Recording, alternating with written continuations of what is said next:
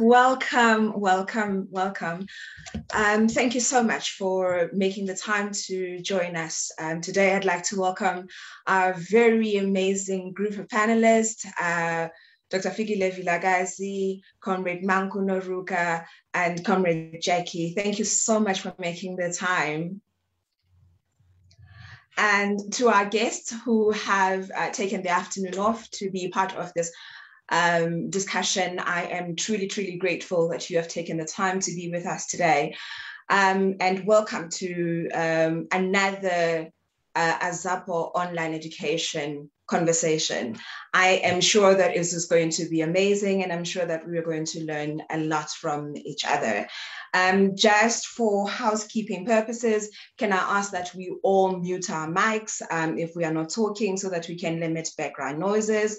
Um, can I also um, ask that if you have a question, you can put it into the chat um, and our panelists can deal with it. Um, and also if you have something that you wanna say, please put your hand up. Um, so the session is going to run this way. So we're going to give our panelists an opportunity to just give us their thoughts on the topic.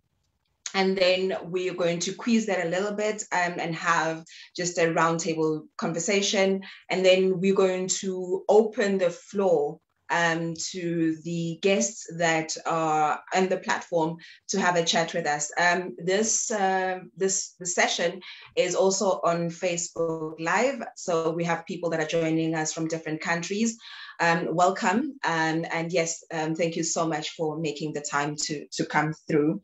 So without further ado, I'm gonna start with the people that are on my screen as the first person, uh, Ukoko Solomon, um, who you are seeing on your screen as Dr. Fikile Vilakazi. Um, Oh, Coco, Fila, Coco Vilakazi um, is a teacher and avid um, activist of the Indigenous Knowledge Systems. Um, she's a healer as well as a lecturer at the uh, at UKZN. Um, she's a founder of many, many, many uh, organizations that look at issues of gender-based violence, including um, the abuse of uh, and, and, and, rape of women, and particularly gays and lesbians. So she's been in the field working very, very hard for women, and I look forward to learning from her in this conversation. Next, I have uh, Comrade Manku Noruka, who I admire a lot. She is one of the first females to take up uh, a senior position in this glorious movement, Yazapo, and she's literally bulldozing her way and making women felt wherever she goes. An avid activist and someone who's really, really passionate and an avid African feminist. Welcome to the show. And we have Comrade Jacqui. My history with Comrade Jacqui is quite long. Um, as a fellow activist, she's a founder of several um, organizations and currently she is with the Lord's Love Rebels, which she founded very recently. Um, she is an avid feminist, a poet, and a writer. Um, an incredible politician and one who's always breaking down spaces in the political space, particularly where women are concerned in terms of making sure that women have a voice. So I'm looking forward to her um, views on a number of subjects. Uh, Comrade Jacqui, welcome. And thank you so much for coming through. You can unmute yourselves. Uh, thank you so much, Comrade Jacqui. Okay. Um, to, you. to get us uh, off uh, the track, I'm going to ask Dr. Fikile just to give us um, her understanding of the topic and what she wants to share with us. Um, Comrade Fix, off to you. Thank you so much. Uh, thank you so much, uh, Comrade KK and I call it comrade comfortably because we we have a long way where we come from uh, together in various spaces, and I'm absolutely grateful to to connect with you also in this platform, uh, Azapo. Um, and and this particular topic that we are talking about today is absolutely at the center of my heart um, and mind and body, really um, because it is part of our, of our lived uh, realities and experiences um, as, um, as, as women in all our diversities in South Africa, but also, you know, we carry it from, from our mother's wombs as well. It's, a, it's, a, it's, a, it's an intergenerational thing when we talk about feminism, we talk about landlessness, and we talk about racism, we are actually touching at the center of our woundedness. Um, and I think it's very important to start it in that way. Um, that when, when we talk about this, we talk about an experience of oppression, right? And we're talking about how that experience is layered over time.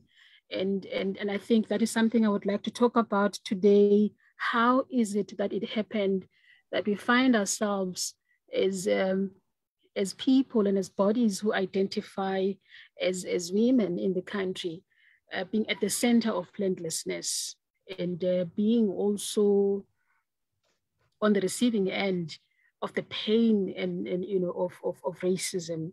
Where do we come from with that? I would like to, to, to speak a lot about that um, so that you know, it, it is always my view that I think it's important for us to know where we come from so that when we make certain statements, when we speak in the manner that we speak, when we activist in the manner that we activist and call for things that we call for, that these things are not seen as falling from sky, but actually they are reality. Some things have not changed. Things have happened in the past. Um, and I think that it's important also that when we have this conversation, we really are having it as a conversation of pain, but also a conversation of healing, a conversation of love, because we have loved our mothers, we've loved our great grandmothers. And we are who we are because we are a generation of, and we cannot um, outlive that story because when we do that, we are fragmenting ourselves. So I'd really like to talk about that and um, you know, just to just memory, take us a little bit way memory lane, but also to say, why is it then that things are the way they are today, where we have a situation like in KwaZulu-Natal, for example, where women have suffered greatly in the hands of Ingonyama Trust, for example, um, and many other examples that we can use, and, and, and how do we heal ourselves from that? So I will stop it here uh, just as a way of introduction and allow my other uh, comments to share, and we'll come back. Thank you, Comrade Fix. I really look forward to that, particularly um, I know we've had some serious engagements about women who've ended up having to die, um, yeah. you know, eh, you know, in trying to tackle this issue. So thank you so much um, for, for your willingness to, to, to go there. Uh, uh, Comrade Manku, uh, over to yes, you. Uh, thank you so much, Comrade Keke. Uh, uh, that was a powerful introduction from Comrade Fix. That's that's really amazing, and I'm really honored to be part of the caliber of women that we have in this platform today. Um, I I would like this this topic is also very close to my heart. Uh, when we talk about issues of women, and we most specifically look at the issue of um, landlessness, it's, it's an issue that is close to my heart because I believe that the reason why women we are at where we are right now in this country today is because of the issue of landlessness.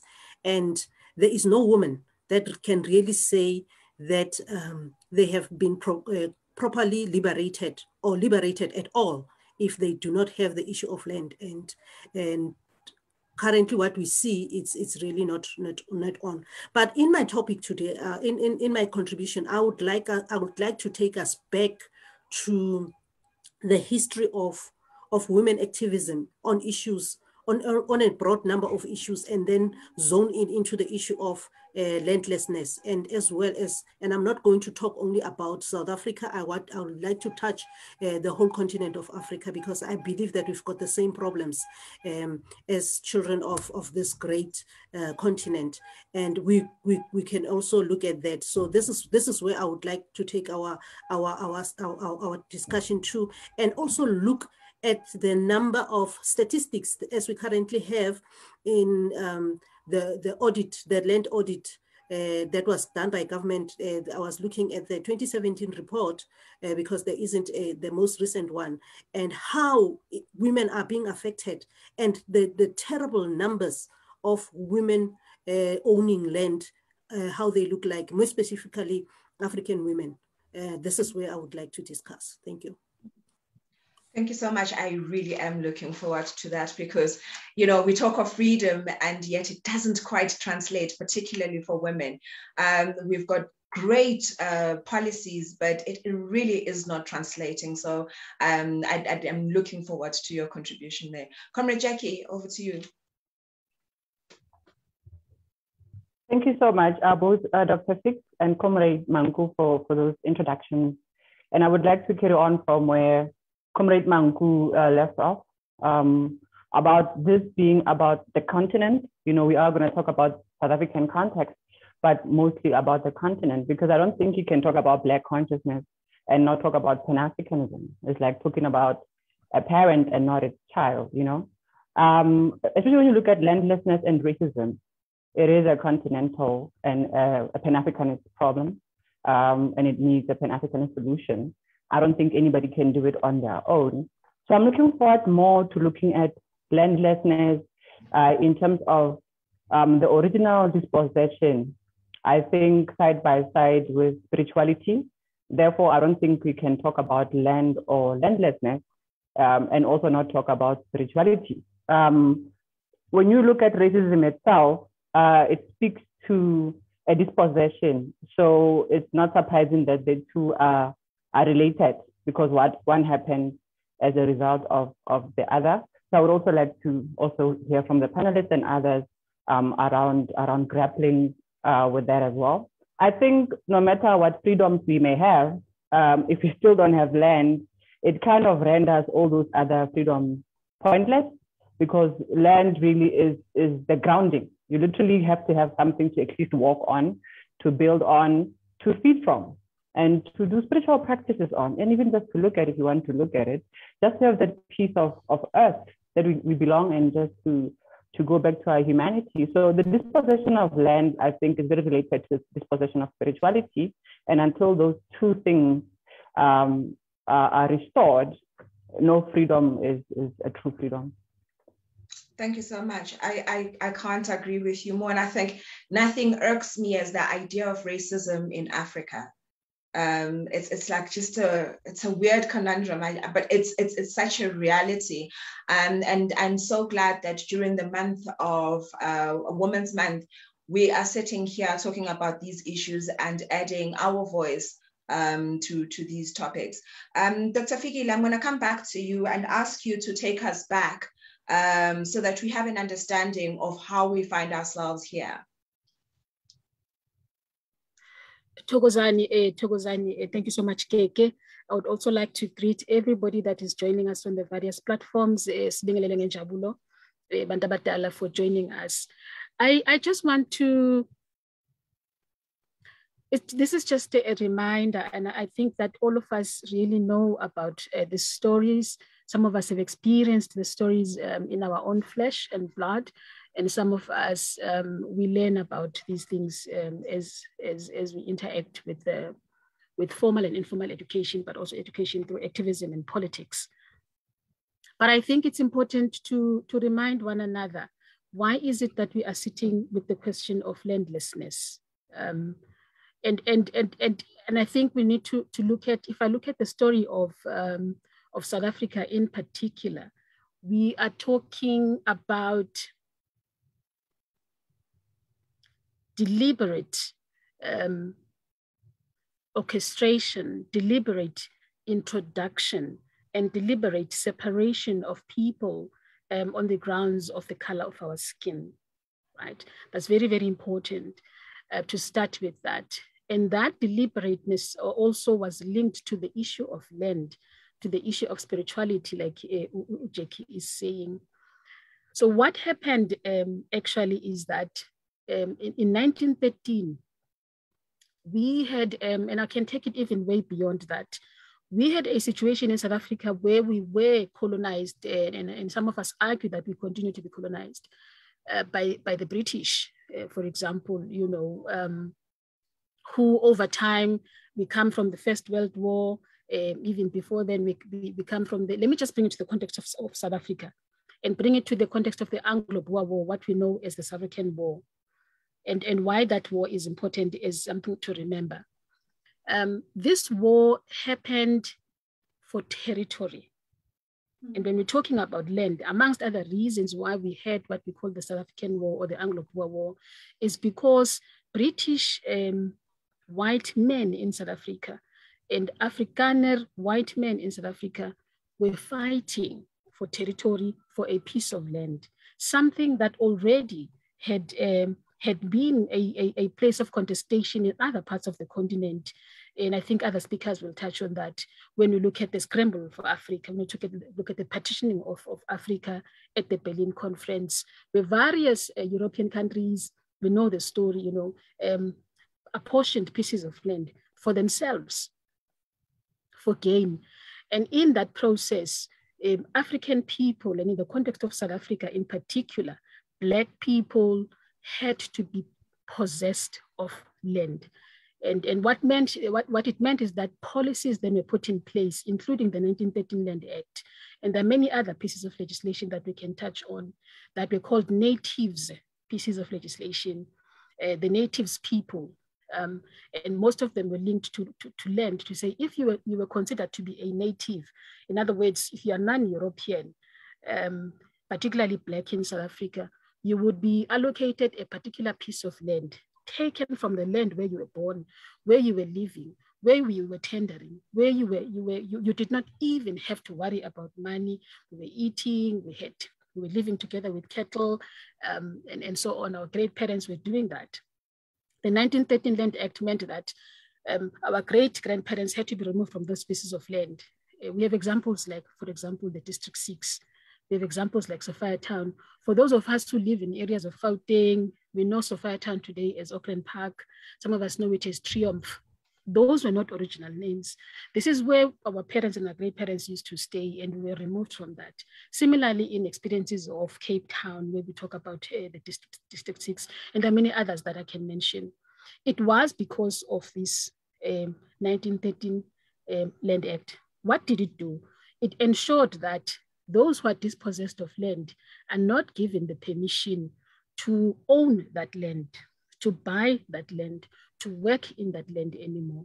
And what the 1913 Land Act did, it, it then created small reserves where Black people, which is your mother and my mother, your great grandmother and my grandmother, and the great parents, our fathers as well, were relocated to what you call these small pieces of reserves. 90, more than 99%, 95% of land was going to then be owned by the Europeans and uh, black people would then have to share that small percentage of land, which is called reserves. Work in it, be happy in it, make food in it, and so on, which was an impossible task to do. And that um, that was a deepening of the experiences of landlessness. And how then feminism matters in the story is that, as we all know, our mothers were left at home during experiences of oppression, where mostly our fathers generally had to go to war. Remember, we are talking here a context where the, the world globally is going through the First World War, which ended in 1917. So when the 1913 Land Act happened, it actually occurred in that context of war. And because we were a colony, um, it meant that some of our fathers who, who, who, who, were soldiers for the colony, for the British Empire, had to fight um, in the war. They were also um, deployed to go and fight on behalf of the colony. And that is what happened in many parts of the African continent as well. When you were a colony, the colonizer could take um, our fathers and some of our mothers as soldiers to go and fight in the war. So that is the context of the 1939 Act. And I think it's important to remember this because memory can never be contested. This is not something that we are creating. It's not like we are saying Black people are fighting for special rights. Something was taken through this.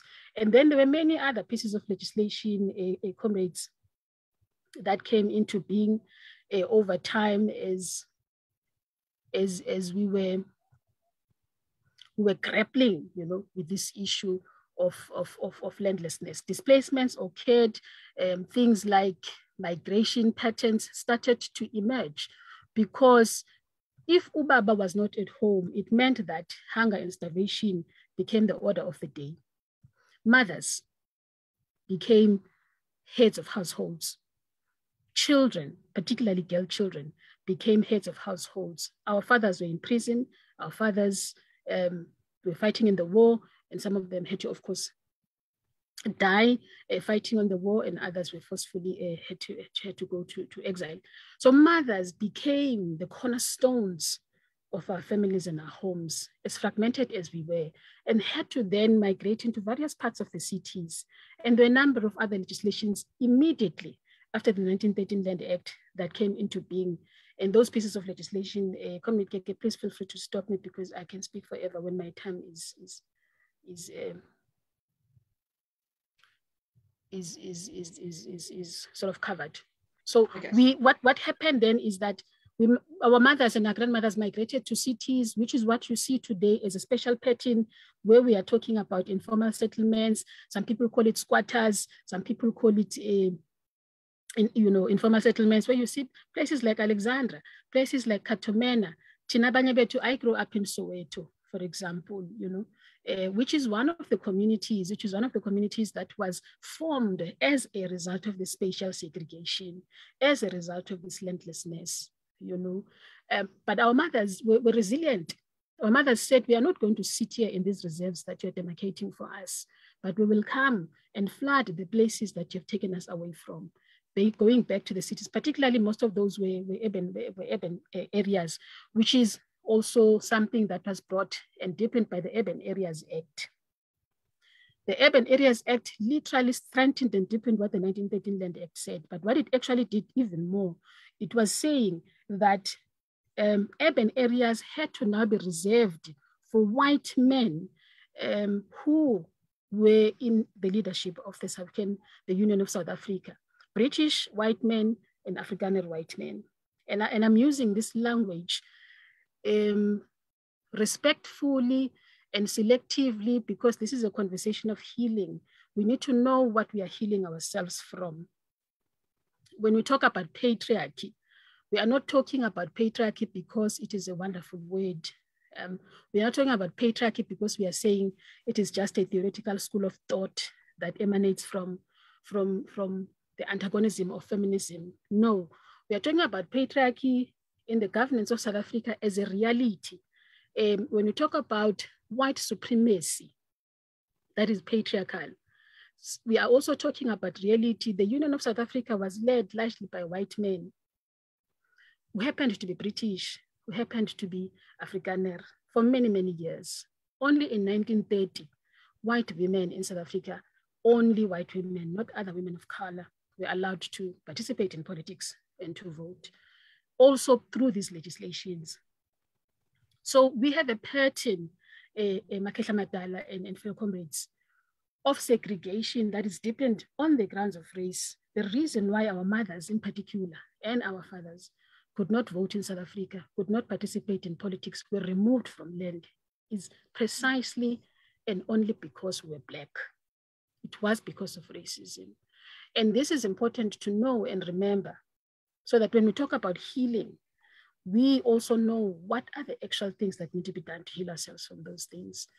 Um, and what it means then, practically speaking, just in the 1900s, it means that you have a dispensation where our mothers were moved from place from pillar to post. Of course, there were lots of struggles, there were lots of, of, of, of, of wars, there were lots of fightings, there were a lot of protests by our mothers. Uh, I have one minute left for this particular segment, who were fighting and resisting this to say we are going to live on the pavements of the cities if it means we have to, because this is our land, this is our, this is our, um, our, our our, our place of, of, of, of birth. You know, this is something that we have a right to occupy, we have a right to own. That is why you see some people are saying we are going to take back the land, uh, in a sense that that it emanates from that. When you, it, it, I always say in this one minute that I have, uh, in, in, in other comrades, imagine you are in your own house.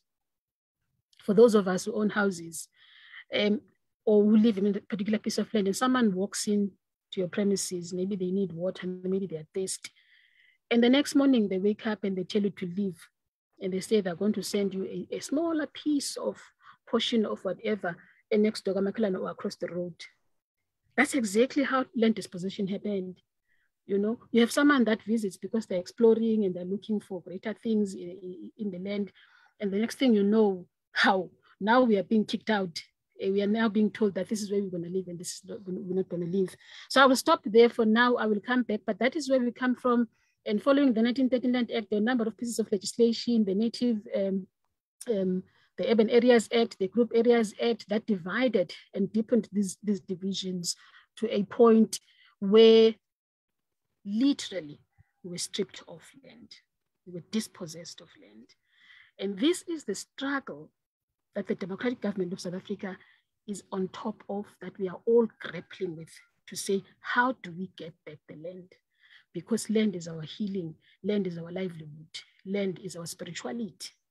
Singabantu, Tokozan. Togoza Well, um, a, a real education indeed. And you really sparked on some very interesting facts there because um, the idea of African feminism or, feminism or our mothers as feminists um, is exactly why we actually have this month that we are now celebrating because it was those same women that decided you cannot own our economic rights, you cannot own our, our freedom of movement. Um, and we are tired of you using your legislation um, to use um, you know, this, this concept of of, of, of, of, apartheid or, or, racial segregation to limit our livelihoods or way, our ways of being. So I'm so happy that you were able to explore that and how these governments have and continue to use um, uh, racism really as a vehicle for land theft, which is continuing today.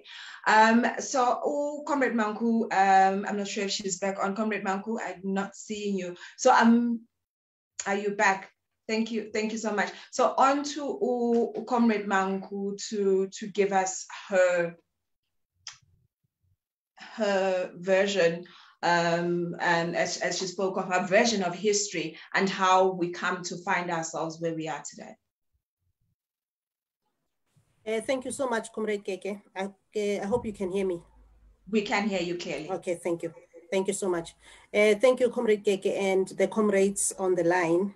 Um, I would like us to look back to really uh, just taking, uh, following the lead of, of Comrade uh, Fix when she when she spoke about patriarchy and all that. I think it is important to to put it on record that in Africa, we never had patriarchy until uh, colonizers arrived in this land. Women were given a very high position where the women could, could be consulted on issues that that that were that were affecting the nation, that were affecting uh, the, the the environment and everything. And and women held political positions in Africa. Women were were, were, were seen to be part of the whole um, re revolution, uh, if we if we may say, and and on, on, on the advent of, of colonization, that is when we had this issue of patriarchy. But now women did not uh, sit back and say, okay, fine, now there's patriarchy in our country, in our continent, uh, we are just going to roll over and die. But they took it up to themselves. I mean, uh, we look at at women uh, from, from, from Kenya who stood by and who, who said no not not in our country we're not going to allow that. And uh, and one of the things that we need to take note is that uh, activism and feminism existed in Africa before the word fe uh, feminism was actually coined in 1837. So women were, were already st stepping up to say, no, there are certain things that we cannot we cannot allow in, in our in, in our continent, and and hence it, it, they they played that particular role. I mean, we we're looking at women like uh, Bo Bo Me, uh, Mekatilili wa, wa, wa Menza. This is the woman who led the protest against the British colonization uh, administration that wanted to take African people and make them slaves. Because basically they were saying that the, all African people that were, were, were captured there, they just need to come and and work for free. And you, we know very well that when we, you are working for free, you are actually a slave. And she fought the whole British colonization. And these are the women that are not being mentioned. And it, it is said that uh, when we talk about uh, women, we, we, you know, we just take it on the surface. Women have done incredible things in, in, in, in, in, in, in our continent. I mean, Igbo, Igbo women, Igbo women have, have, have always challenged the system. They took it, they took it apart. I mean, if, even when they were not happy about something, they knew the Igbo men and, and anybody that, that, that, that, that was in the country knew very well that the Igbo women, they will wear their, they will wear their, their military wear and then they know that now it's war you know because that's that's how it was. So it is important that when we look at these things we need to understand. And they did not only do it just for the sake of doing it. It the issue was with land. We must ne really need to understand that each and every revolution starts and they end with land. Everything else comes in between. Everything else it is a, a, pro, a byproduct of an issue of land. And that is where our women, you know, took it upon themselves. It happened even here in South Africa. Uh, people, they like to look narrowly on the issue of um, the pass laws when, when women went to go march in 1959 to say, okay, fine, we, they are against the pass laws. But if you look, if you diagnose it deeply, you will see that the issue had to do with land because we were dispossessed at that time. And uh, the women in, in Zeerust, which uh, when they stage their march, their march is, is it's not really documented, but you it's it's you get to understand uh, the grievances of the women that marched uh, in Zeerust. The, the, the, the issue was not only the issue of past, but it was also had to do with land because at that time, uh, that is when it was introduced that women cannot own land. And when we look at it is a it, it is an it is evident that when women are in charge of land, uh, they they're able to do mighty things. They're able to when they're in charge of agriculture because you take any any woman who's a farmer and you put them on on, on the land vis-a-vis a man, that woman it does not matter how small the land is, they will make sure that they produce and they use that land effectively. And this is something that we really have to to to to look at. Our mothers they went all out. We're talking about Bo, Bo, Bo, Bo, Bo, Mam, uh, uh, Charlotte Maxeke. We talk about Bo Lilian Ngoyi. We talk about Bo Winnie Mandela. We talk about Bo Me Winnie Khware. Those women, they, they, they stood up and they took they, they, they, they started with the baton and they handed it to, over to us. Now, the question is, what are we going to do? And what I like uh, with the new uh, digital technology and all that is that our young girls now they're, they're not all, they're not saying our mothers they used to to walk the streets and fight for a particular cause. Now because you know when we look at the pandemics uh, we are limited that we cannot do certain things at a particular time because we are looking at the pandemic now they're taking it onto social me media, which I support so greatly because it means that the struggle continues. The struggle continues, and we're not going to sit back and say, "Okay, fine, uh, this is this is not what we that we, we can do." Now, um, you know, I, I am inspired by a lot of women. Uh, women in Sierra Leone, you know, they played a crucial role where a, a black child, a black girl, was not being allowed a, uh, a right to education in 1923, they started and they said, no, enough, enough is enough. Our girls, they also deserve the right to learn, just like any other person. So the, these are the issues that we need to look at. Now, when we look at, the, there's, a, there's a landmark case in South Africa that, that, that challenges the issue of land and succession, and that is Bhe versus uh, Bhe and others versus uh, the magistrate of Khayelitsha, where the woman was challenging uh, the whole legal system to say, how can uh, customary law say that I cannot be a successor of my father's, uh, um, you know, inheritance when she was the direct person that actually needed to to inherit. And you know uh, uh, that landmark case, you know, it's it, it is part of the movement that we are in to say that this is what we are looking at. So uh, it, it is it is encouraging that we, we we're looking at this. Uh, I think I'll give uh, Comrade Jacqui a, a, chance to also uh, take a share on this issue. Thanks. Um, thank you so much, Comrade Noruka, for, for raising these issues and in particularly the legal aspects um, of how the system has continued to suppress um, the role of women in, in politics or in shaping the world. Um, Comrade Jacqui, on over to you. Yeah, thank you so much, um, fellow panelists. This has been very, very informative. Like I could, I could just listen and listen and listen for some time. I'm getting quite educated myself. Um, thank you so much. You know, Comrade Fix, uh, when you mentioned like places like you know that we know well of District Six and Sophiatown, you know, as those sites for for dispossession, I'd argue that in fact the entire continent is District Six and Sophiatown you know? So where the violence maybe was more pronounced i think that's where it was like this system is is so visibly violent you know? And i think even thinking about what you were talking about i mean you gave us a lovely history as to how it happened and and how it got to be and how these wars uh, that were fought by people from here were also a form of destruction. Because what it tells me is that for all of these centuries now um, we have been serving foreign gods, really, because if you cannot pray on your land, even if you cannot even speak our languages, if you cannot express uh, express our cultures and traditions, we are a lost people. You know, we may be a little bit more comfortable slaves uh, in terms of modern times. We could have assimilated well, uh, but we remain dispossessed. You know, and that's why many of the the the, the born frees will say things like, "We are living in neo apartheid apartheid." And it makes me wonder though, for how long? you know, our ancestors have come and gone and tried to fight for this liberation. Uh, we are still here doing it in uh, a free South Africa, uh, democratic South Africa at the very least.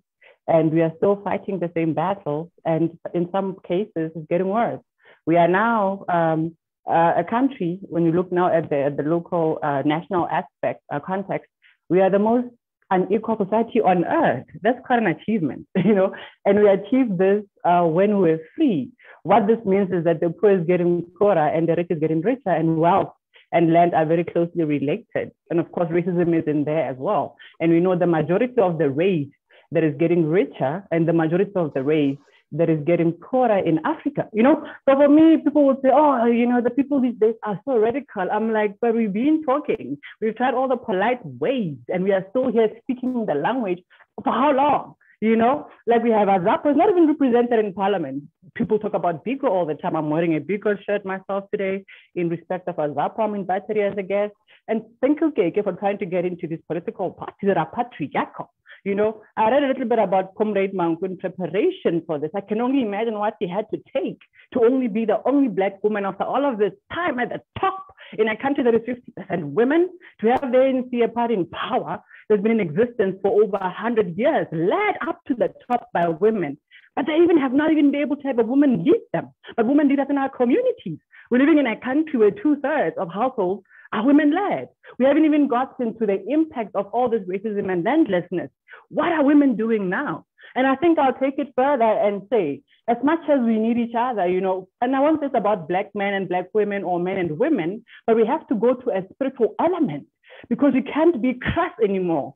The ways of the world are not going to work. We need divine intervention, guys. I'm 40 soon, you know. I've been at this since I was in my 20s. I'm exhausted. I don't want to have children who tomorrow are still going to be landless. You know, how much more must we negotiate? Must we still go vote and go and check them out? Because what has it done for us? How much more are we going to uphold a system that is clearly a system of colonizers and benefits colonizers? How much more of that language must we speak? How many talk shows, oh my God, must we continue to have? Land was stolen, you return that. And of course, it's not going to happen in a polite way.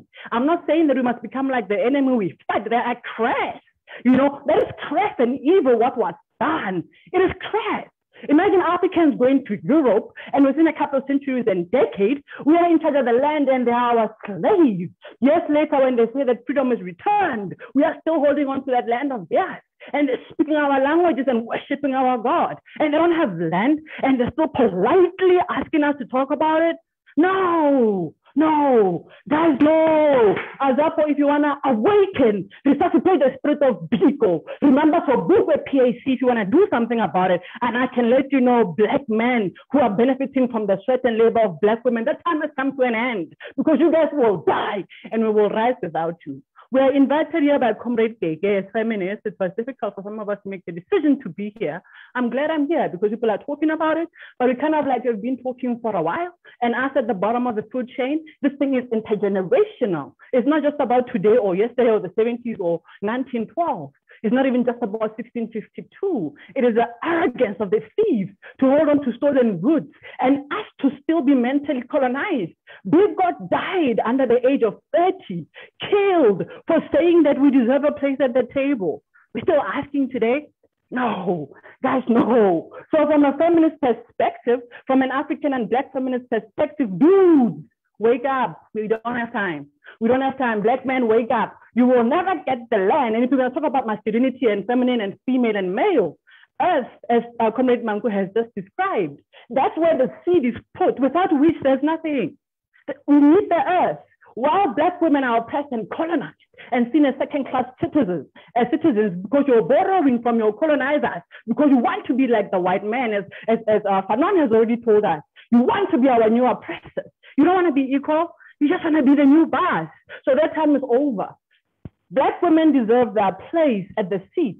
Nobody's trying to say this one is better than the other one. Luckily, we are coming from a perspective of feminism that is about love and healing. We all know that we're all wounded and problematic.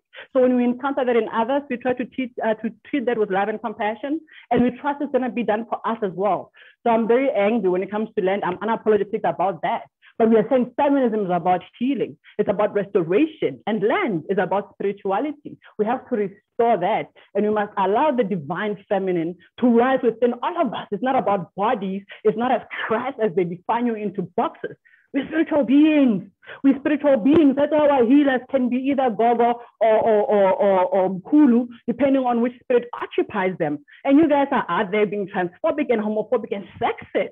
How are you going to be complete and get your land back? You will forever remain slaves to your masters and foreign gods until you learn to respect where you come from, until you learn to respect the earth as a seed, until you find the divinity in being a woman. And that is nothing that is like uh, second class anything. In fact, it should be seen as something to aspire to because clearly patriarchy and masculinity has brought us here. And like Fikile, I can go on for a while. But I have to say the answer to our time lies in a beautiful ideology called feminism. Nobody's shooting anybody. Nobody's going to be as crass as those people. We need divine intervention, and it's going to be a revolution of love and healing, and it's going to be led by Black feminists. Thank you so much, Comrade Jacqui, for that passionate um, engagement. Um, and again, you know, you all touching on, on, on, on, on African feminism and the importance of African feminism in being able to bring about the change um, that, that we need to see, not just for women, because we know that if change is going to happen, women will have to be at the forefront of that. Um, I would like to just ask um, to explore this concept of African feminism because there is an argument, like a very broad argument that says African feminism does not exist um, and feminism is a white construct. Um, I think Comrade Fix, you tried to break that down a little bit to say that really and truly, uh, and Comrade Manku, you've also mentioned um, the women of Sierra Leone. Um, so I'd like you to just break it down a little bit more in one or two minutes, um, the concept of African feminism and where we are and where we need to be going to be able to, to liberate our people, because we all understand that it's going to take women to change the status quo.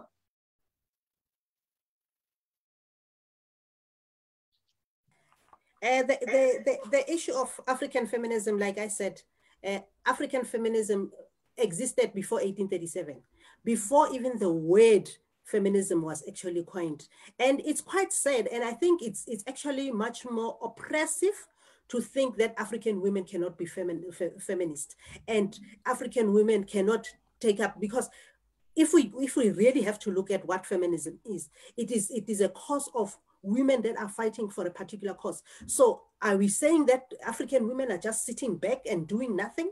Uh, we just have to be led by the by by by by by, by the white masters and all that? No, African women they stand on their own. Now, uh, there quite a number of of if we look, we can look in different countries. We can look at, let's go back as Sierra Leone, we can look at Kenya, and we can look at quite a number of, of, of, of countries where women have stood up. And we can even go back as far as the particular queens that are in, that were involved. I mean, Queen Tiya, she made sure that you know she did she not she did not just relax and sit on her laurels to say that she's a queen uh, and just you know be a trophy wife and all that. She ensured that when it comes to the legalistic ways of how her country performed she was heading that department.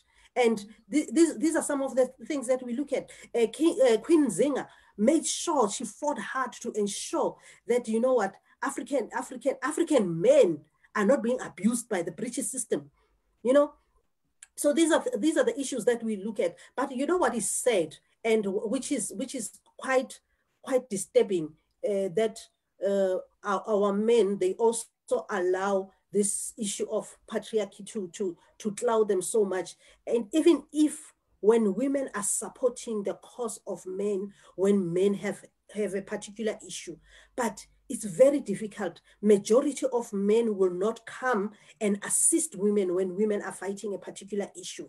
Instead, they would rather say, these women, these women, instead of joining and saying, you know what, women issues are human rights issues. You know, the, the, you cannot separate them because the reason why women are, are fighting for a particular issue is to ensure that there is equality, there is justice in all. So why should we wait to be uh, negatively affected before we can do something. I do not I do not have to to to to to to wait until somebody that I am closely related to to be raped then before I can say something about rape.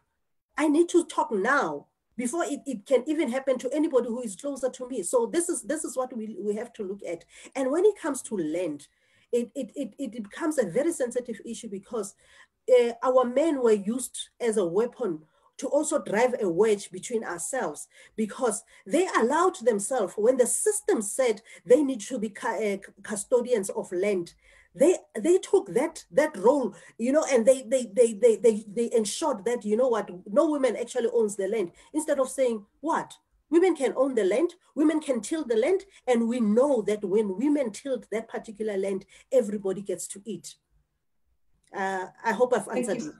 Yes, you have. Thank you so much. Um, Comrade Fix, I'd like you to take on the issue of this custodians of land, um, because this is true. When the uh, Ingonyama Trust um, inherited illegally um, the people's land from the apartheid government, they put on the boot on women in particular a lot harder.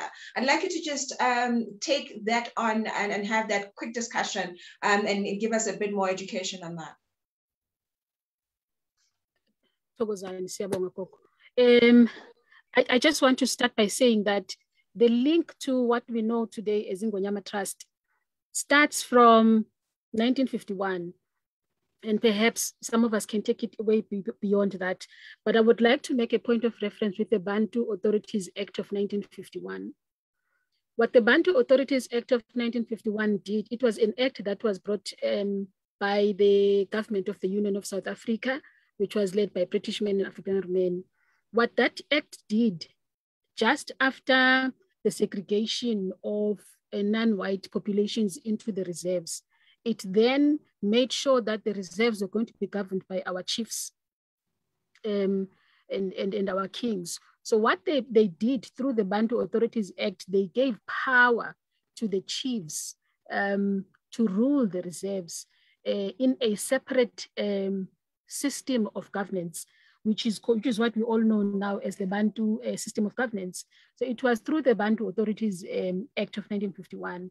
But what was problematic about about that that that Bantu Authorities uh, Act is that the chiefs were actually not necessarily given power, but that was an act of tokenism, uh, where the central government of the Union of South Africa still maintained power, um, still um, controlled the chiefs, and and and that thing then happened up to the liberation of South Africa in 1994, where we had in the negotiations during CODESA a situation where for example, in KwaZulu-Natal, Amakhosi and our chiefs were saying, we are not going to participate in this government of national unity unless you retain the power that was given to us by the government of the Union of South Africa as chiefs by giving us portions of land. And KwaZulu-Natal in particular was then apportioned a number of sectors, uh, of hectares of land um, to own under what you now know Ingonyama Trust. Uh, and the only sole trustee of Ingonyama Trust was the late uh, Inkosi uh, And, and of course, now the new king, Umdana um, Umisuzulu, is probably going to take over. The conversations are still continuing.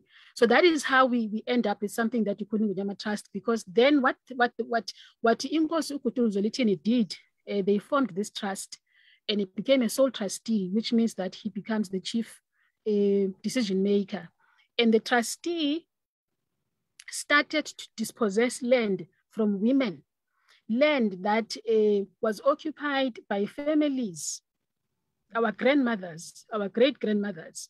Uh, and in some instances, of course, we had our fathers as well living in those, in those pieces of land from the 1800s, from the 1700s. Now that this Bantu Authorities Act has, was established, they were given um, ownership of that small, those small pieces of reserves that were allocated to black populations or non-white populations, deepening uh, the fragmentation of our society, deepening the hatred and the fragmentation of our family structures, um, and of course, deepening the gender divides in, in terms of now uh, entrenching patriarchal leadership and patriarchal hierarchies within the system of what you now know as Bantustans. So that is what happened. Um, so what, what, what then happened is that women as custodians of land, because what was happening is that, oh, oh mama, for example, like Mama Usizani Ngubane, these are the things that they were fighting for. Oh, mama Usizani Ngubane died. She was the founder um, of, of, of, of, a, of a movement here in, in KwaZulu-Natal that was fighting for land, for, for women, for land's right to say no woman should be removed from the land of their birth. Umama Ufikile Ntshangase was shot dead at, at, at, her house for similar reasons, where a coal um, company wanted to, to remove women from land, uh, you know, of their birth to build a coal company. We've got a number of these, of these stories where, where international corporations are coming to remove us from our pieces of land where our chiefs have been used. So Ingonyama Trust is that particular story. Of course, we all know that it ended up in court and the court has ruled in favor of, um, of the women who have been fighting and may, may, their, may their souls rest in power.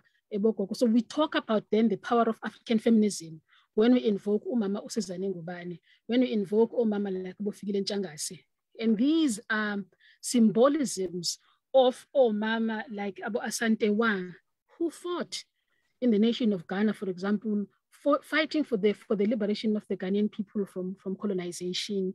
Uh, you know, Umama Asantewaa, we all know his story, for example, like you are saying, Comrade Manku, was one of the women feminists in pre-colonial Africa who stood up and said, you men, if you are not going to fight the colonizers and stop them from taking our pieces of land, we are going to do it. I'm going to call all the women in the land and we are going to fight until one of us has fallen from battle.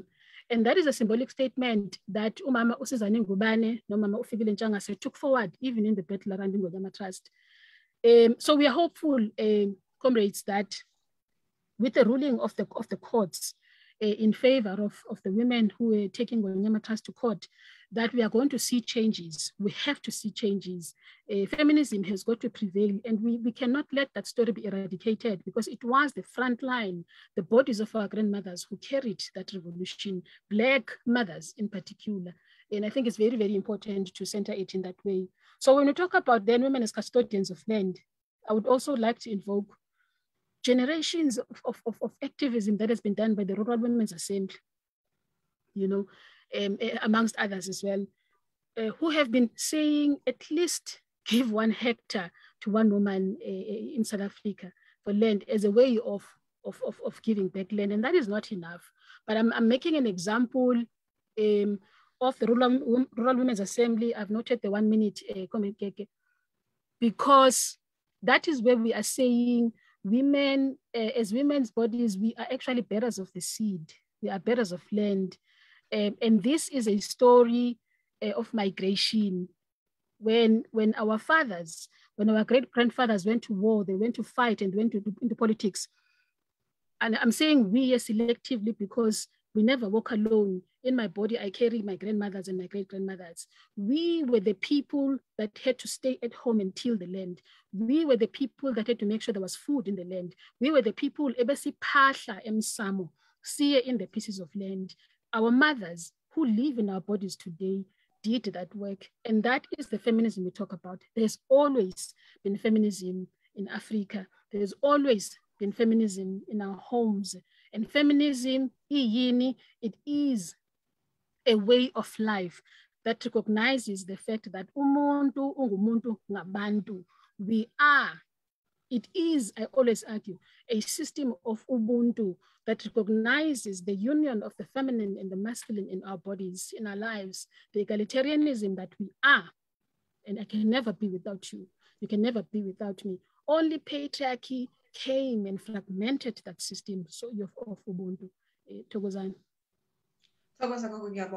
Comrade Jacqui, uh, Comrade Manku speaks of a betrayal, speaks of a betrayal of uh, Black men betraying Black women um, and allowing themselves to be used by the system, one, to position women right at the bottom of the human hierarchy. We all know when it comes to landlessness, poverty, um, right at the bottom of that is Black women. And our Black men have been part of these racist systems that oppress women. What is your take on this conversation?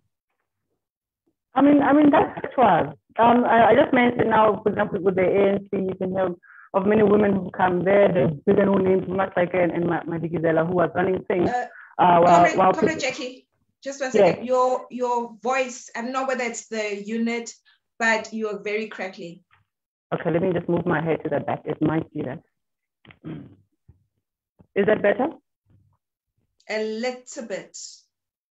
And how about now? Maybe if I have to move on. Yes, that's much better, better. That's much better. Thank you. Are, are you sure? Yes, perfect. Okay. Yes, I was talking about how it is. That's a fact because, like, when you look at political parties, for example, the fact that you find that women like Bob Mema Kayekele, Bob Mema Dikizela were actually running things, but you get that it's, it's um, other people who are chosen to be leaders and presidents um, instead of those women. I mean, when you look at the ANC politics, um, Zuma was chosen over over Mema Dikizela Mandela. It doesn't make any sense to anyone. Uh, but that's what happened. That even a person that was a life partner, uh, because she was demonized uh, for, for being the person that she was, uh, went with Zuma. They, so black men have got this thing where they do what actually the white nation does. They close rank, and uh, the people outside the rank are usually the black women. And you find that white people and black men actually don't mind selling black women out. You know, if it suits them, whether it's for like capitalist agendas or political agendas, where, for example, um, somebody like Mema Dikizela still talking about nationalization, and in the case of Chris who was murdered, um, somebody like Ndate, Ndate Nelson Mandela, um, no longer talking about that and talking about other things that take that betray the struggle. Before she passed away, Winnie Madikizela Mandela, who ended up being demonized. She held this country together for almost three decades. And then she was demonized at the end of it, you know? Um, she said that the same guy who went into prison is not the same guy who came out. And we don't like to talk about, especially the deported in certain manner, but what happened in CODESA though? Where are the minutes? You know, who sold what out and what does it mean? Um, then today we've got a few select people who are the beneficiary of so, so many programs that have come and gone, your GEARS, your, even the so-called BEE, we know it's for the elite. In the main, the black majority, typical people who don't have certain connections or have not had access and, and opportunities or privileges to access certain education or to come from certain classes, people are struggling out here. You know, how, how is it okay that a, struggle that was held together by the majority, those majority are left on the sidelines now, like it's every man for himself, but we know that we carry each other. And in the main, we find that this horrible thing of, of women being put to the side and living in households and in communities, but not in political leadership, has become normalized. Why can't women be leaders here? And I'm going to go to also the question I'm seeing in the comment section on, on Facebook. Um, somebody say there isn't something like um, African feminism. What our mothers did was simply to be leaders. I think, beloved, just because there is no African language equivalent of something, and then there's an English language of it, it does not make that thing an African. Uh, Comrade Fikile just spoke about how feminism is a way of life. Our grandmothers, they were, of course, feminism. How did they make, you know, they, they made that miracle of Jesus of multiplying bread and loaves look like a joke. When you look at how much they did with so little, and in some ways we have to also look at the positive side, and that's what some of us, the younger people, the, some of the feminists, the black feminists, we are gonna do it on our own if we have to, because we kind of like have, except we've been holding and lifting other people on our shoulders who then discard us when it's opportunistic for them to do so, when it's convenient for them. So I completely agree with that statement that black women have been taken to the side and discarded and made pariahs and made demons, and sometimes black men and white people will coincide to put black women as a demon while we are the ones who raise our own children as well as the madams as well as take care of the black man. But the, the reward for that is not seen. The labor that we do is not considered to be labor. So black women do majority of, of the labor. Imagine a world one day where, where, where there are no black women in it. just one day, just one day. But you can imagine, imagine one without other people.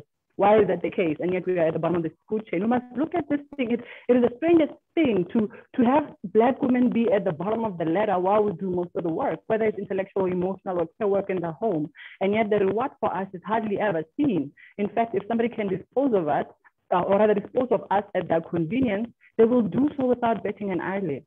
So Black women, I think we need to choose ourselves first as well. Thank you so much, Comrade Jacqui. Um, and, and also, I think you have answered uh, a comment from Olehile Siabo. Comrade Olehile, if you um, are not happy with the answer, please um, raise your hand. We, we will see you and you can join this conversation. I'd like to open up the floor now um, to our guests who are you know, joining us um, to come in, ask questions or to add um, to the conversation that we are having. And so whilst we are waiting for people to engage with this, I just want to acknowledge um, the chat room. Um, and in the chat room, um, I see um, I see a message from Bapiwe saying powerful, incredible panelists and Comrade Yvette Abrahams. This is really powerful. Thank you so much, Comrade uh, uh Abrahams. Um, we also have uh, from uh, somebody, let me see, um, Mom Metzing says, Comrade Jacqui, the passion is palpable. Um, and Homotso is saying, I owe it to my kids and grandkids to share this session and the lessons learned here. I'm grateful to the panelists. Um, and then we have somebody saying, with the contribution of comrades, I see the re-emergence of Black consciousness and Pan-Africanist philosophies. Comrades, you have nailed it. Um, um, and then Comrade Francina Nkosi says, thank you, I am empowered. Makosi Baninzi says, it's time now that women lead us to true liberation. Thank you for your contribution. Um, and uh, Comrade I think happy. I was told Nomsizi, Cry, Tato Bereng, Mutlalepule, Kware, Mapiri, Masikela are dead. No, they are alive. They speak through the voices of comrades like oh, Comrade Vicky, Lokekelezo, Comrade Manku, Comrade Jacqui, and many others. Forward with the women of Azania, and Garabo Phineas lead, women lead, and we need women like you. Uh, Matsidiso Moroka says, it is time that African women should take their rightful place and liberate Azania. Our country is in a state of disaster and the voice of Black women is not heard. I could not agree with you more. Um, Garabo Phineas comes back to say, female activism in the past two decades, scholars have begun to pay more attention to female political activism in South African history. And Happy has come back to say African men are scarce uh, or are scared to be led by their women. It begins at home. It is male chauvinism. Or I would actually greatly add we speak of chauvinism, but also misogyny. There is a definite hatred of Black women, a systemic hatred uh, of Black women. Uh, Moms Metzing says, I think the panel said a very important aspect that Black men sometimes or always act like the colonizers and, op- and, and oppressors of women. There is this belief that women are also their own enemies, sometimes acting as similar to men, crushing their own when they get a higher calling to their table, they close the door behind another woman. What is the panel's thoughts with regards to this? So I'm going to stop, stop here and ask the panelists to quickly respond to this question that I am very passionate about. This idea of, um, they, they, have given it names. Some call it uh, POHA Down syndrome, a PhD, women have PhD, and others are calling it um, a, a, a, you know, dropping the ladder. You get up the ladder and then you drop it. What is your take on this? Uh, I'll start with you, Comrade Fix, in one minute. Oh my goodness, in one minute. Ooh. Or two. um, no, I'm saying I'm breathing because because um, it's quite a reality, right? That um, we we are we are we are building um, feminist leadership and feminist governments um, in South Africa, governance in South Africa, um, from wherever we are sitting everywhere. Yet there is that challenge of, of, of pull head down. Um, I would say, Kekeletso, we have always loved each other. Um, this is a revolution of love and healing. Um, we really have always loved each other. And, and I think that if you look at the manner in which our mothers and our grandmothers have done it over the years, that uh, that shows that regardless of the differences, it doesn't mean that we, you know, there, were, there, there are no challenges of differences that we do not, that we agree all the time and we say we love each other. No, we agree to disagree. We tell each other what it is, but we have always loved each other. So it is not really uh, necessary to pull each other down because when you're talking about feminist governance and feminist leadership and feminist healing, we are talking about various pockets of all of us, uh, whoever we are in our diversities, in our differences, whether we are in political parties, whether in civil society, whether we are in our farm, in our farms, whether at home, whether in the street committees, everywhere we are. You know, feminism is not a homogenous way of life. Uh, we need to we need to acknowledge our differences, um, and this is what Odelot says that uh, our challenge is really not is not really our differences, but it is our inability to recognize the strength that we have in our differences. And I think as soon as we realize that um, that is actually our power. Uh, so in one minute, I will end it at that to say, let us embrace each other. Let us love each other. Um, as different as we are, as diverse as we are, even in our blackness, because black women are not a homogenous a, a group. But we need to, we need to see each other. We need to remember who we are singabantu ethokozani thokoza gogo. Comrade manku your voice please. Uh, you know, it is it is really sad, uh, and I was hoping that this question never comes up, but obviously it would come up. uh, uh, it is said that indeed, the, when we have to face reality, there is that pull head down syndrome, and I don't think I can actually sum it up much better than Comrade uh, Fix to say, you know what, at the end of the day, we need to acknowledge that we are different. And with our differences come women's strength because what I have, you might not even have. But when we match up together, we become one powerful combination. So we as women, this is something that we really need to look at. This is something that we really need to, to visit and ensure that whatever that we do, we really have to love each other and say, you know what, we might be different, but for this particular cause, uh, we agree on something and let us fight with all our, our, our being to ensure that we conquer. The rest we can see later.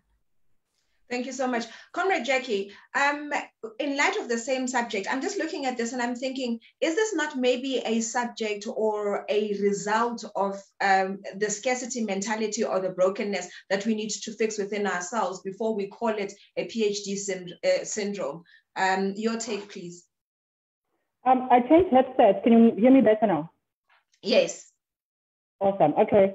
Um, it's, it's like Comrade Monk also like don't like the question. It's a very weird question because nobody ever talks about the Purim Down syndrome. Look at Ramaphosa and Cyril. They don't exactly. I mean, Cyril and Zuma. They don't exactly love each other. They're not exactly pulling each other up. Thabo and Zuma were not exactly pulling each other up.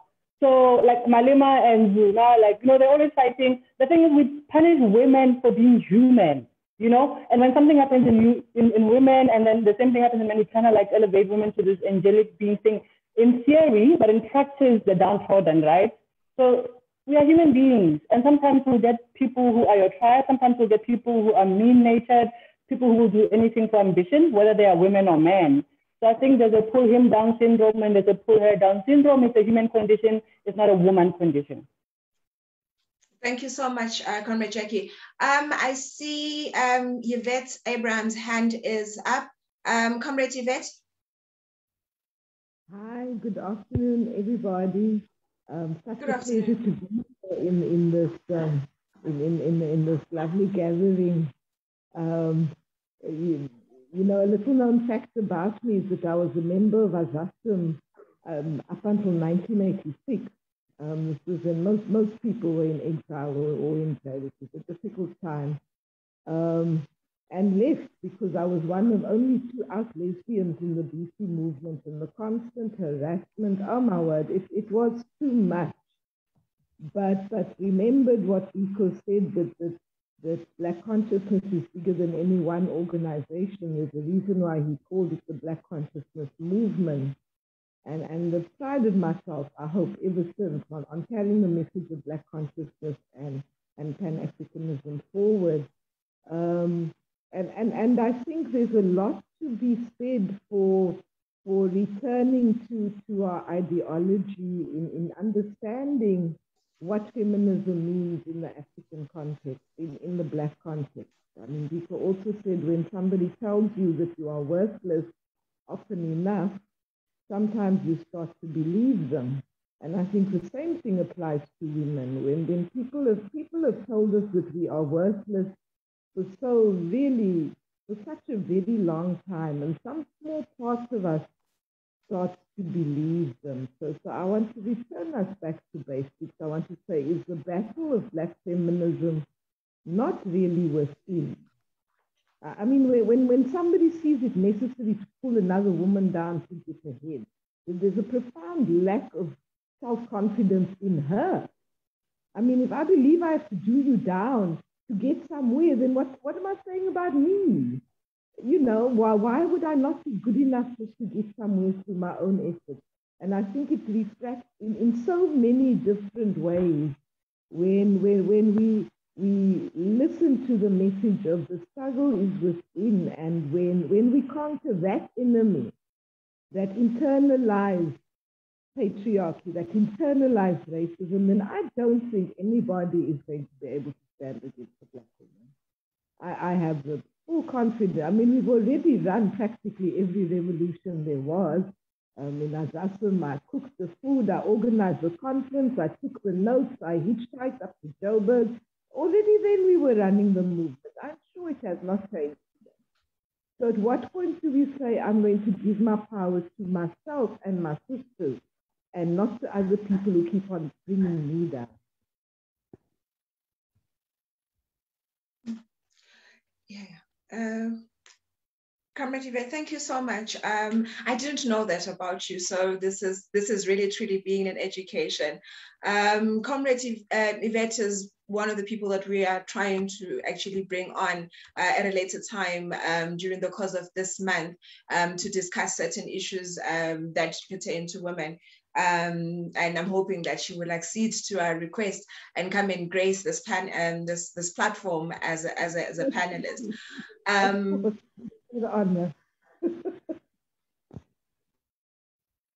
thank you, Comrade uh, Vives.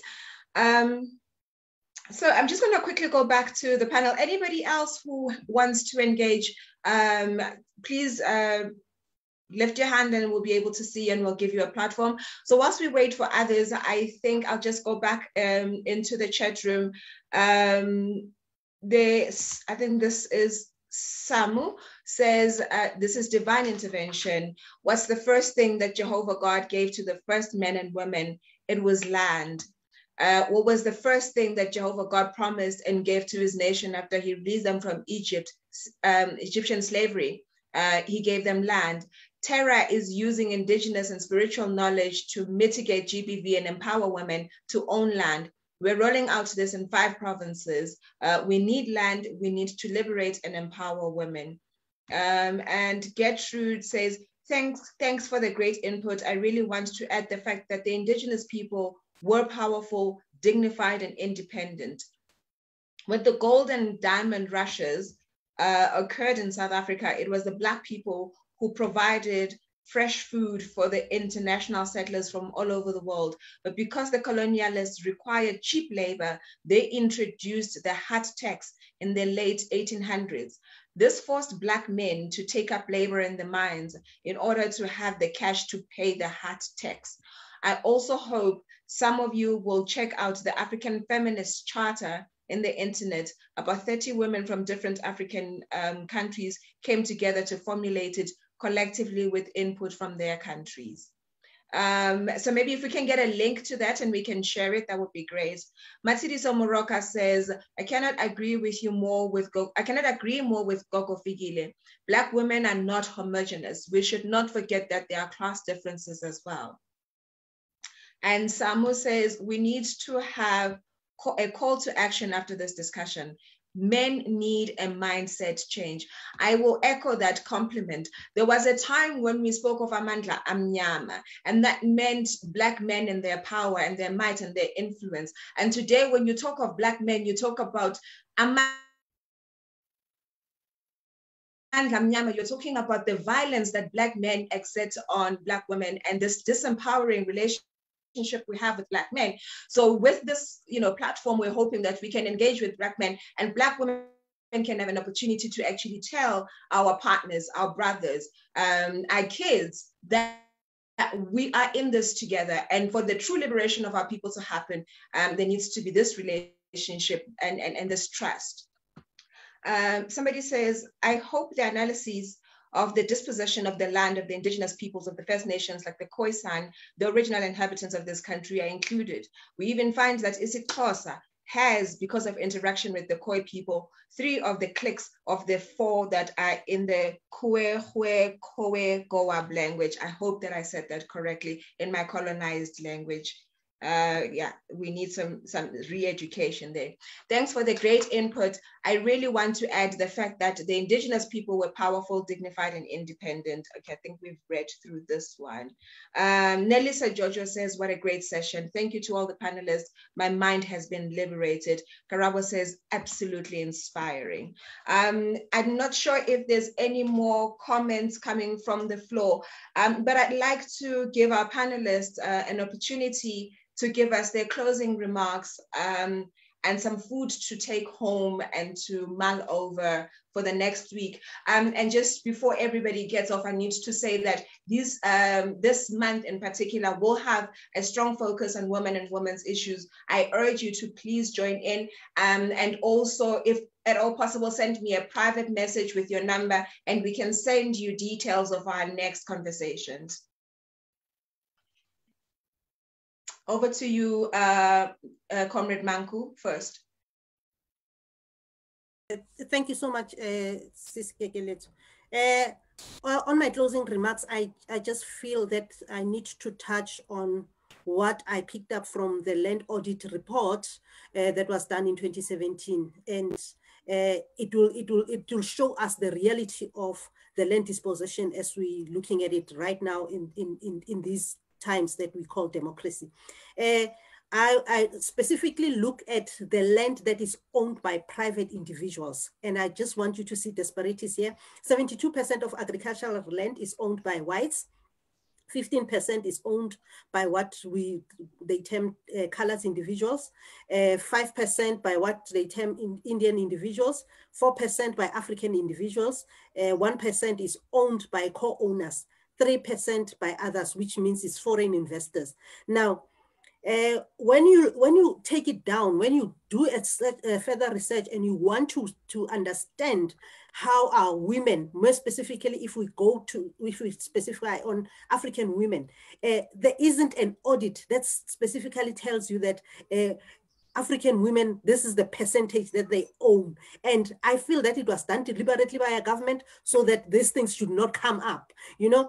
And uh, also, there's this 1% that is being owned by co-owners. That particular 1%, when they mean the co-owners, they mean the co co the co-ops. Now we are we are always saying women should form co-ops and all that. They're only owning one percent of the land. How disgusting is that?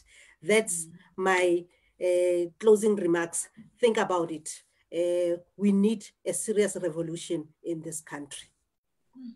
Thank you so much, Comrade uh, Manku. Uh, Comrade Jacqui, your closing remarks.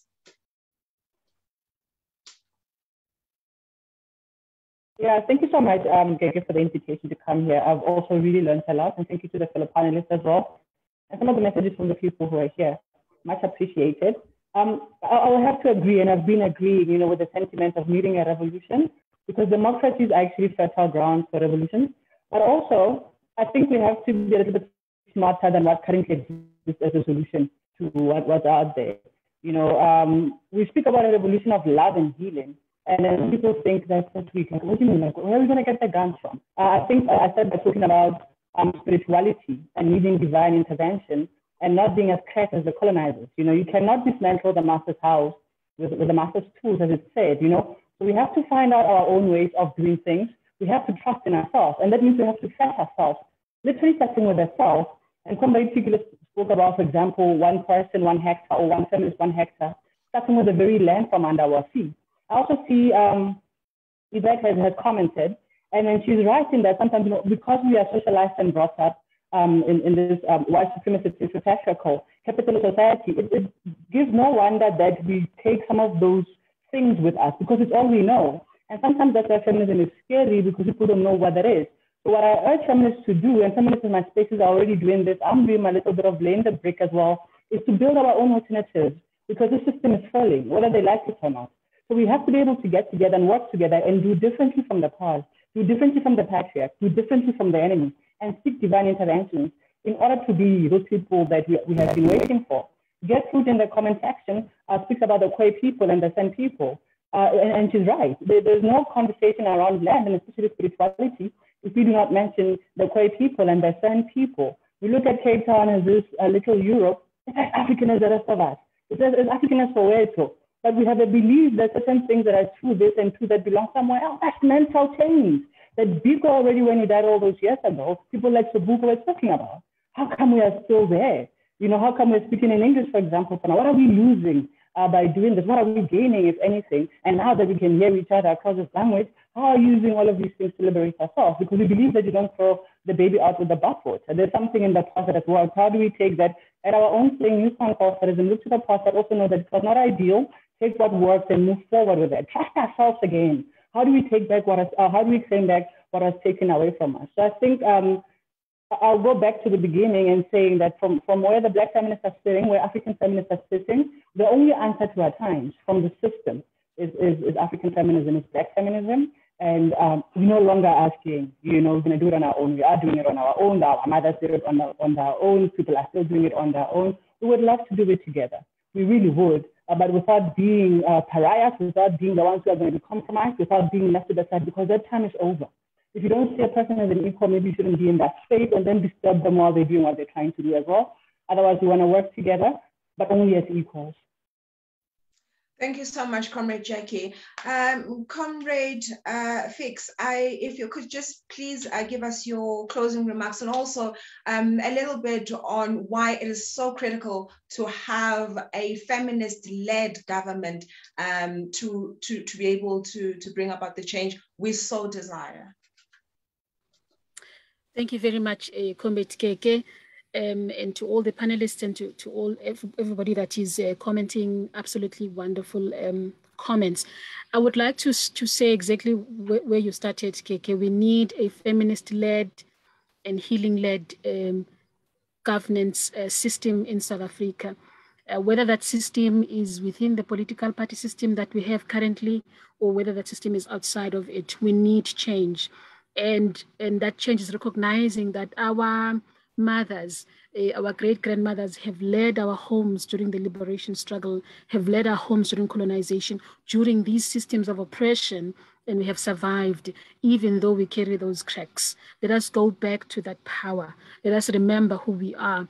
All political parties, all civil society organizations, all of us where we are, let us rise in feminist um, leadership. Let us rise in feminist healing and and and and when we call in this in this way we are saying that feminism is for everybody um, we are talking about the feminine divinities that uh, live inside of us.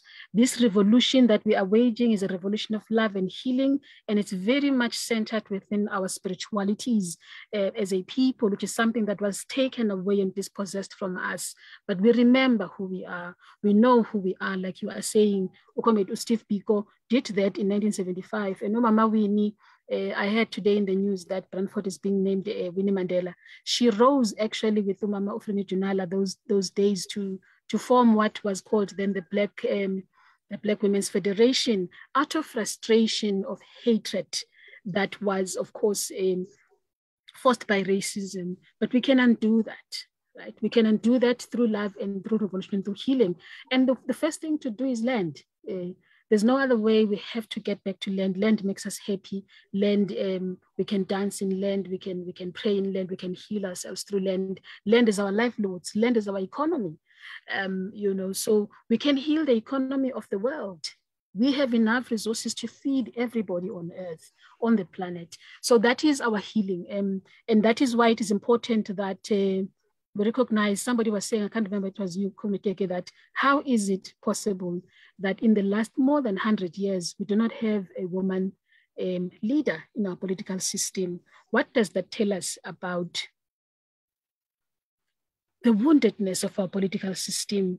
This morning, I read a book by somebody, it's just been published, and I want to reference it and, and, and say to us, can we please read it? That says, You have struck a rock. I think it's written by Ukuku Buhlungu uh, talking about these issues of where have we been as mothers and our mothers um, in this in this struggle, really in this grappling. I like the topic in this grappling with landlessness and the and the woundedness of the country. So we need to reclaim um, all of those things um, and trust women's bodies. We have women's bodies, by the way, in, in, government. It's not that we do not have, we don't have a shortage of that. We've got beautiful policies. Our mothers have been there. I think we are close to 45% of parliamentarians uh, who are women, but something has not changed fundamentally in terms of, of, of, of, of the violences that we see. So we need something different. Um, and, and, and that is what we are saying uh, feminist rising is important. That is not just about bodies, but it is about systemic change. We need to do things differently. And that is doing things from a place of love. We need to do away with all systems of oppression, capitalism. And it calls us, you know, and it sounds like we're talking big words, but actually it's about returning to Ubuntu, returning to who we are and just remembering ourselves. And it does call on us also to give up uh, the joys of oppression. Because what has happened over time is that, um, as I wrap up, Gege, is when the Bantu authorities of 1951, for example, gave power to the chiefs, it was done forcefully, by the way. Um, our fathers were forced to rape. It's important to, to say this. Our fathers were forced to lead in the manner that, like you were saying at some point, we are talking about black power or amandla obumnyama but we can no longer talk about that because that was done forcefully, even during slavery. Our fathers were forced to watch the oppressors raping our mothers and, and, you know, in front of them. So this is something that was taught, something that is internalized, right? It's an internalized oppression that continues to perpetuate itself uh, in some form today. And I, I like what Ugogo Yvette has said in closing. To heal ourselves from where we are, we actually really have to realize that we are living with post-traumatic stress disorder as a nation. Um, and, and some of that we have liberated ourselves from um, systemically, but we are not out of it. This is what Frantz Fanon talks about. He talks about the pitfalls of our national consciousness uh, to say that the pitfalls of our liberation remain the fact that we have come back in our bodies, in our language, we call this liberation, but our psyche is left behind in, in oppression. Um, our spirits are left behind in oppression. So kufanele in ngokwesintu uh, I don't know how to say this in English. Kufanele siyozilanda. We need to to cleanse ourselves. We need to bring ourselves back. And some of these things is about returning to the power of ritual um, as we know it. And ritual, I'm not talking about bungoma, because I know I speak as a sangoma. I'm talking about the power of ritual in any other way that the Khoi people uh, have done ritual, that the San people have done ritual. Was, list, I was, I was remembering Namibia not so long ago. Thank you, Gertrude, for raising this. Yesterday, you know, how the Germans dispossessed the, the and the San people in, in Namibia, you know, of land um, at that time and here in South Africa as well, how, how it happened. So we need to ritualize ourselves back. And, and it's possible, and the feminist-led and healing-led government is about that. It's about saying, let us go back, siyozilanda, sizibuyise, and return that which we are, things that we were taught, that we've internalized, which is even hating each other. Um, are things that we have to first acknowledge to say, I carry this as well, I've internalized it and we all become honest to each other and allow the process of healing to unfold. It's going to take years, but it has to begin. Uh, and that is where we should be, Togozan. I thank you so much for those wise words. And I, um, I'm really glad that you were able to touch on um, the healing aspect. And just to say that somewhere in the month, later on in the month, we will be talking about the woundedness of our people and that it is absolutely critical for Azania to heal itself um, and to understand all of these past traumas and how those past traumas are allowing us or making us bleed well into the future. Um, very quickly, next week's conversation is going to be with um, Mwalamedi, um, and this one talks to the role of women in changing the status quo. What is it that women can and should be doing to change the status quo? I'm hoping that you will be a part of this conversation. Um, and also on the 22nd, uh, on the 22nd, the conversation is African culture in the fight against gender-based violence um, and whether or not our culture enables or it aids or, you know, it actually makes gender-based violence possible or, you know, these things that Dr. Uh, Fikile is talking about, um, the internalized hatred um, and traumas, learned traumas um, from our past will be part of the conversation that we'll be having on the 22nd. I do hope that you will be part of it. Um, before I close, um, it would be amiss of me not to read the last comments um, from our guests. So if you will just bear with me, we're a little bit out of our time, but if you could just give me two seconds, um, uh, Gertrude will definitely keep you in, uh, will keep in contact with you and send you more information about our chats um, going into the future. Um, and Bernice says, thank you to the host and the panelists. I'm educated. I'm very proud of you guys. And we have, um, uh, Matsidiso says, I love the energy in this session, very powerful. Let's not just celebrate women in August. This should be done every day. What is ought to be done going forward? For the African Feminist Charter, just type the African Feminist Charter and it will come up on Google. We'll definitely do that. The topic of feminism is a contentious one, both in South African society and contemporarily, as well as historically, says Karabo Phineas. Um, Moms Made Sing says this was an interesting session. I thoroughly enjoyed the engagement. However, I think we need to be careful not to flip flop and name the same things differently depending on who does it. When the same thing is done by men, it's oppression. And when it's done by the same women who are take who are talking against the said behavior done by men, we then say women are heterogeneous. All women are human. As women, we need to reflect um, and acknowledge that there is also a struggle of women against women. As uncomfortable as it is, as uncomfortable as it is, as contentious as it is, but it's a very important topic. I really want to acknowledge the, the wealth of information the panelists have, uh, have shared with us and the passion of engagement. It has been an interesting session worthy of all the time and informative strength, strength and rise. Ralaboha, uh, Matsidiso Moroka, Orifa Amandla. Ngiyabonga to the inspirational panelists, says Tanusha uh, Raniga. And Happy says, let us rise with AZAPO. Uh, Karabo says, we should have a student movement. Dr. Fikile Vilakazi, let us rise and heal ourselves. It is time. It is time. Uh, for a feminist and healing led government is the way to go. It is time. I couldn't agree with you um, more it is time for a feminist-led government. And um, I'm sure that AZAPO is listening, they are hearing this and they understand that an inclusive leadership is critical um, to the emancipation of our people. I thank you so much for your time. Thank you for joining us. Comrade Noruka, Comrade Vilakazi, uh, Comrade Jags, thank you so much for making the time. And um, I thank the uh, AZAPO online political education platform for having given us the space to come here and have these discussions. To all our guests who have taken the time and the ones that are watching us on Facebook, thank you so much for making the time to be with us. I am eternally grateful for your time. Thank you for the education and the engagement. Mandla.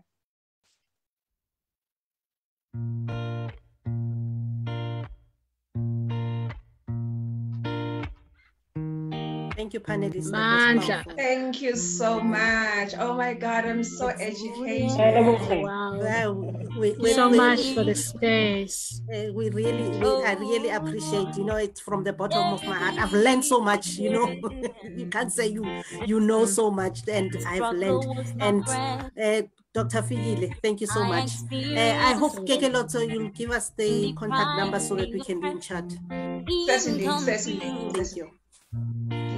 It's enough now. We're taking the power back. We're stronger than before. We're proud, prouder, too strong. The worst is over. From Cape to Cairo, on Morocco to Madagascar. From Cape